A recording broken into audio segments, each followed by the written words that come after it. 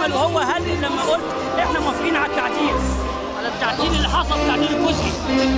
إذا كنا نتحدث عن مواد تتعلق بالمواطنة وحقوق الإنسان والحريات العامة وسيادة القانون ومرجعية الدستور والتوازن بين السلطات والتداول السلمي للسلطة والمساواة في الحقوق والواجبات فهذا يعني آه، معلوم من الأمر بالضرورة، نحن مع كل هذه المعاني لكن نحن لا نقبل بحال من الأحوال الوصاية على الشعب المصري حتى لو كان من قبل المؤسسة العسكرية التي نكن لها كل الاحترام والتقدير والحب والإعزاز لكنها ليست بديلا عن الشعب المصري الذي صنع هو بيده هذه الثورة المجيدة.